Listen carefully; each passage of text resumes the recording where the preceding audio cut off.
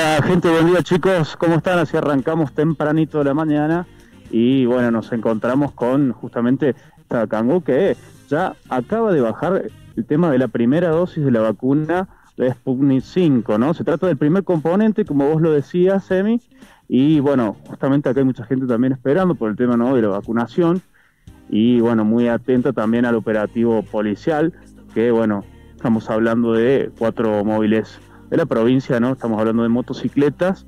Y bueno, estamos en el centro de referencia provincial de rehabilitación, donde acá se está empezando a ejecutar el tema de la vacuna, ¿no, chicos? ¿Me escuchan bien, no? Sí, sí, te Sí, bien. perfecto. Ahí te vamos a pedir que, que, que gires Sí, la que pantalla. Gires, gires la pantalla del celular, por favor.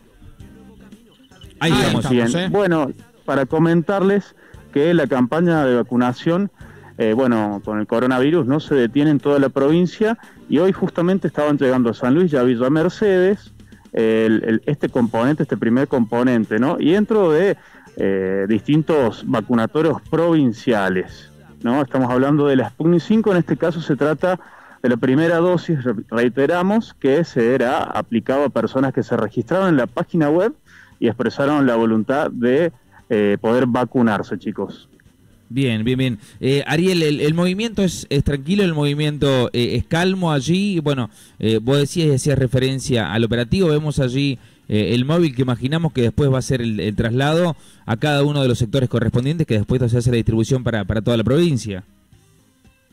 Exactamente, exactamente. Sí, la verdad que es un operativo bastante, eh, si bien me llamó la atención cuando llegué por el tema de que, bueno, están custodiando ¿no? el tema de las vacunas, justamente dos eh, policías, y también escoltaban dos más el tema de la vacuna adentro, ¿no? que donde estaban en el centro justamente de referencia provincial de rehabilitación. Justamente estamos acá donde se destinó este espacio para la vacunación. Vamos a ver si nos podemos acercar, si nos dejan.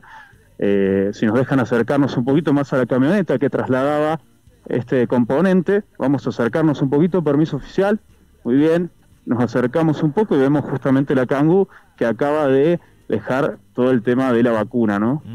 Ariel, Acá, como pueden ver en las imágenes, sí. sí. respecto a, a toda la gente que está por allí, ¿también tienen turno para, para vacunarse hoy? Porque continúan los turnos para, para la vacunación normal con personas mayores de 60, 70 años y otros grupos de riesgo. Exactamente como vos lo decís, acá está la gente justamente esperando, ¿no? Está esperando su turno, que todo se hace online. Hoy en día te mandan un mensaje una vez que eh, vos te inscribiste previamente en la página web y expresás, bueno, tu voluntad de vacunarte, te llega un mensaje don- con un turno donde vos eh, ya, ya podés venir a, a vacunarte. Así que este es más o menos el procedimiento, ¿no? Bien. Donde pueden ver justamente... Eh, Ariel, en, en un Sí. ratito vamos a volver. Son las 8 de la mañana en punto, así que en un, en un minuto volvemos de allí del hospital. Dale. Gran abrazo, chicos, estamos en contacto.